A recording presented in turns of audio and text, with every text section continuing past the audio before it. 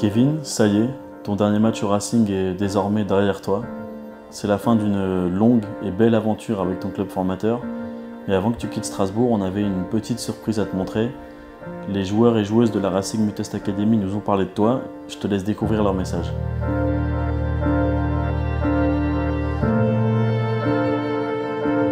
Pour moi, Kevin Gamero, c'est euh, le meilleur attaquant du Racing, je crois. Pour moi, c'est un joueur extraordinaire dans notre club. Il a marqué notre club. ouais, c'est quand même une sacrée légende. Déjà, il a marqué son centième but contre Nantes. Je me rappelle que la première fois que, que je l'ai vu jouer, j'avais peut-être 6-7 ans. J'allais à la Méno et je, je regardais le Racing jouer et, et j'ai des souvenirs qu'on n'oublie pas. C'est peut-être l'un des meilleurs joueurs qui soit passé par le Racing, que bah, je pense qu'il restera dans la mémoire de tous les supporters. C'est euh, clairement un exemple pour euh, nous, euh, les jeunes du centre de formation. Il a joué dans, dans plein de clubs. Et il a gagné plein de trophées. Il a, il a beaucoup d'expérience au haut niveau. Il a joué en équipe de France. Même quand il n'était pas là, quand il n'était pas encore revenu, euh, tout le monde en parlait encore. On trouvait encore ses maillots floqués euh, au sein du stade pendant les matchs. Alors, est-ce que tu peux te présenter, s'il te plaît? Bonjour, je m'appelle Aiden Camero, j'ai 10 ans. Je, je joue en U10 euh, du Racing Club de Strasbourg. Je m'appelle Aaron Gamero, j'ai 14 ans et je suis joueur au Racing Club de Strasbourg. Au Racing et tous les clubs, c'était bah, c'était un très grand joueur parce qu'il marquait beaucoup de buts et à chaque fois, il ne relâchait jamais. Presque comme un chouchou parce que il a été formé au club et c'est un peu une, une légende du Racing. C'est un très grand joueur. C'est- Il, il était venu à 14 ans et il est revenu. Et il a fait avancer beau euh, bah, le Racing Club de Strasbourg. Ils étaient en national, maintenant ils, ils sont en Ligue 1.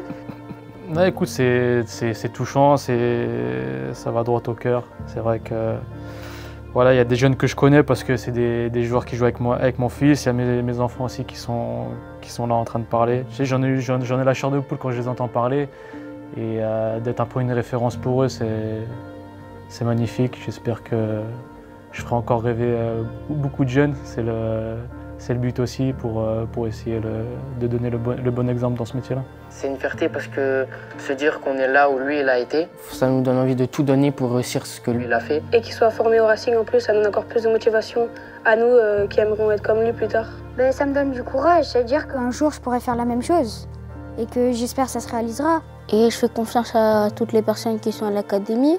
Sans eux, peut-être que Kevin ne serait pas pro. Ça veut dire que, que rien n'est impossible. Peut-être que moi, euh, peut-être que moi, ben, il y a un grand, un grand club qui me voudront, comme Gamero. Peut-être je vais aller en Espagne ou en Angleterre. Je lui dis euh, bravo pour tout ce qu'il a accompli et je lui souhaite euh, le meilleur pour euh, les années à venir. Merci pour tout, Kev, pour tous les conseils. Ça a été un très très grand plaisir d'avoir évolué à tes côtés, d'avoir pu te côtoyer à l'entraînement. Donc euh, merci pour tout. Même si tu es parti du Racing, euh, si, si tu joues encore au foot, ben, donne tout pour tes dernières années. Bah, je dirais euh, que je suis fier de lui, qu'il a fait ce qu'il fallait à Strasbourg et qu'il continue comme ça. Bah, j'étais très contente de sa carrière à Strasbourg et j'espère que hum, tu vas trouver un nouveau club. Je t'aime, papa. Je t'aime, papa. Ah, vous, vous voulez me faire pleurer encore? Non, c'est voilà, c'est touchant. En plus, comme, comme vous voyez, il y a, il y a mes enfants qui, qui me parlent. C'est touchant, vous allez me faire pleurer encore.